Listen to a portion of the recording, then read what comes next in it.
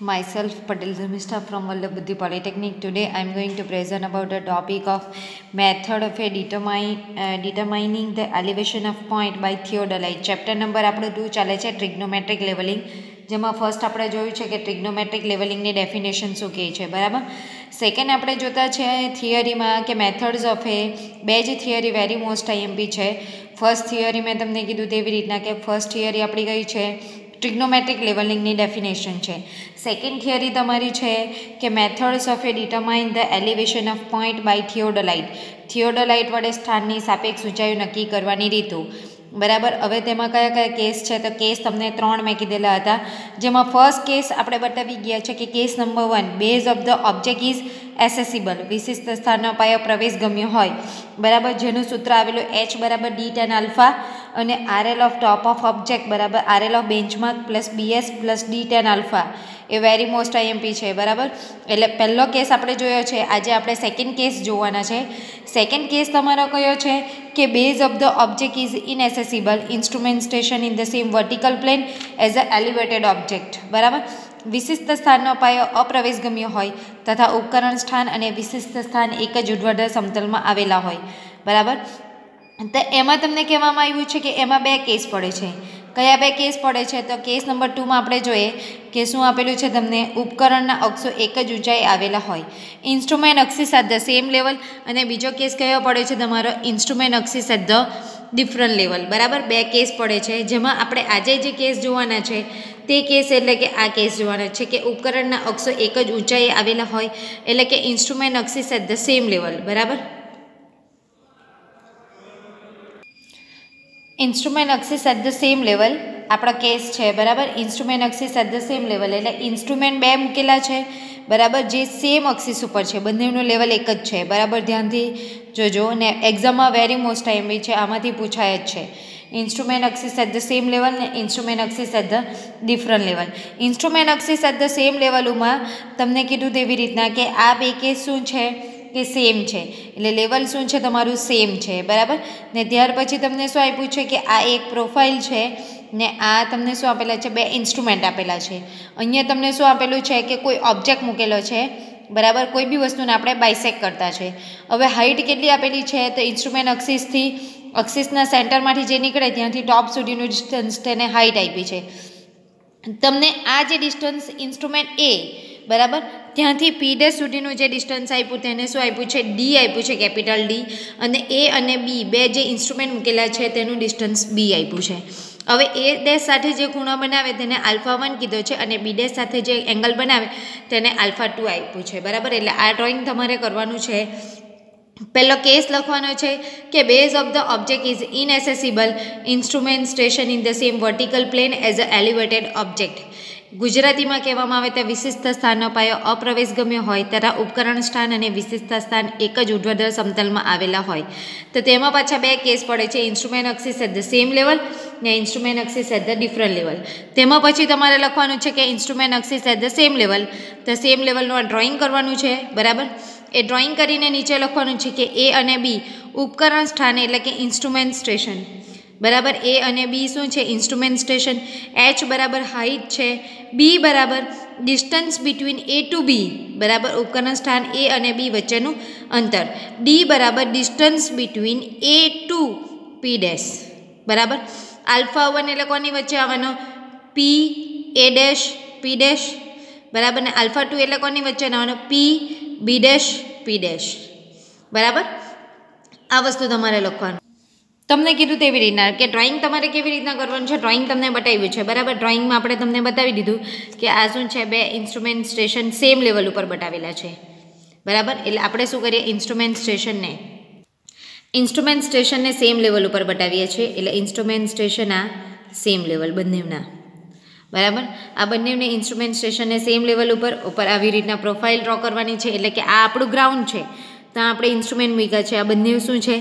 Same level ઉપર મૂક્યા છે. પછી તમને શું આપ્યું છે અહીંયા?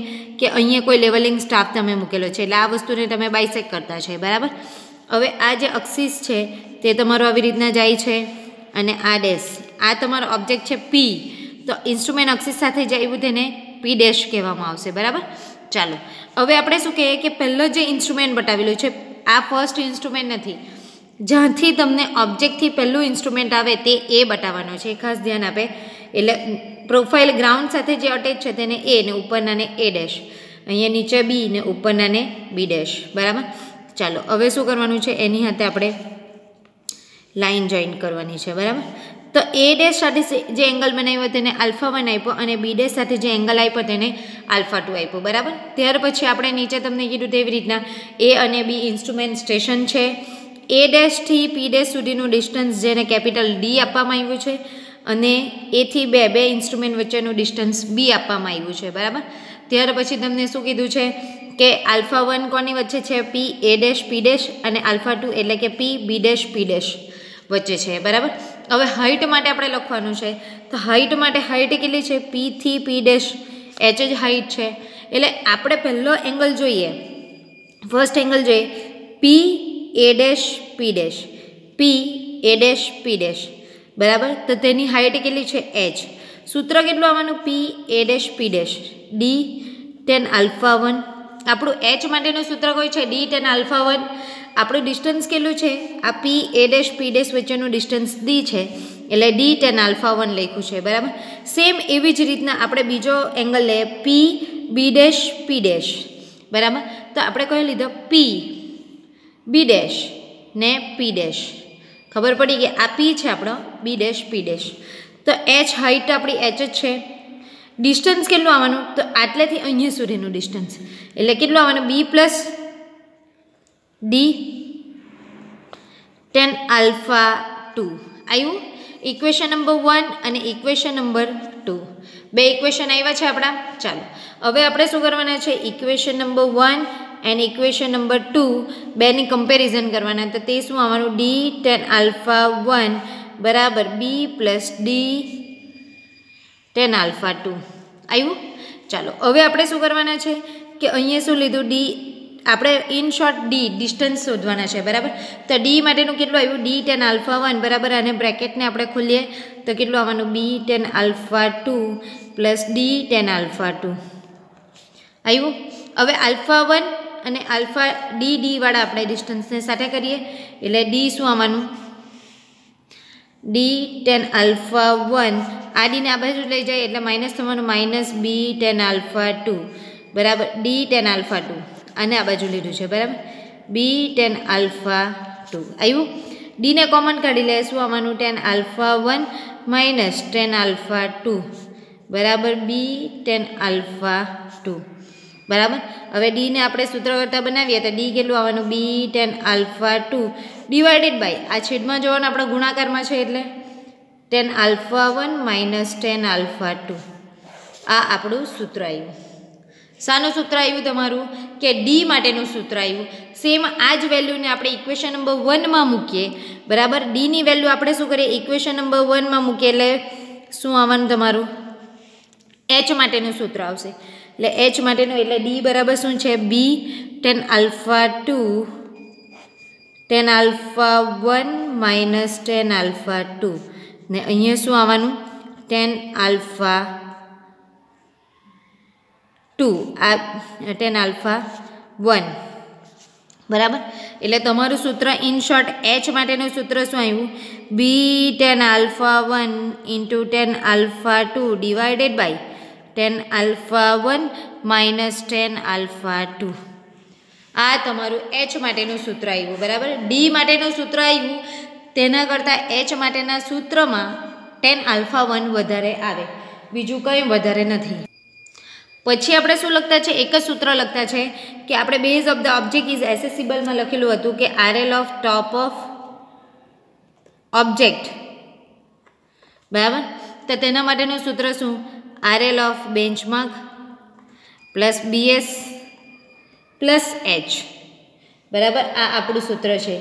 RL of benchmark plus BS plus H. બરાબર? આ સૂત્ર બધા માટે યાદ રાખવાનું છે અને બધા કેસમાં આ સૂત્ર તમારે લખવાનું આવશે જ. બધા કેસમાં તમારે મતલબ કે પહેલો કેસ જે આવ્યો તેમાં શું આવ્યું એચ બરાબર ડી ટેન આલ્ફા, એચ બરાબર ડી અને આલ્ફા વન એ પહેલાં સૂત્રમાં લખી દીધું ને પછી શું લખ્યું? RL of top of object બરાબર RL of benchmark plus BS plus H પહેલા કેસમાં. બીજા કેસમાં તમે શું કર્યું? ઇન્સ્ટ્રુમેન્ટ અક્ષી સેમ લેવલ એટલે ડી અને એચ બેનું સૂત્ર લાવ્યા. તો ડી માટેનું સૂત્ર શું આવ્યું? B tan alpha two divided by tan alpha one minus tan alpha two અને એચ માટેનું સૂત્રમાં શું? કે આ ડીમાં છે, તેના કરતાં ટેન આલ્ફા વન વધારે આવશે. બરાબર? એટલે કેસ નંબર ટુ આપણો અહીંયા હજુ બાકી છે પણ ઇન્સ્ટ્રુમેન્ટ અક્ષે સેમ લેવલ આ આપણું પૂરું થાય. Thank you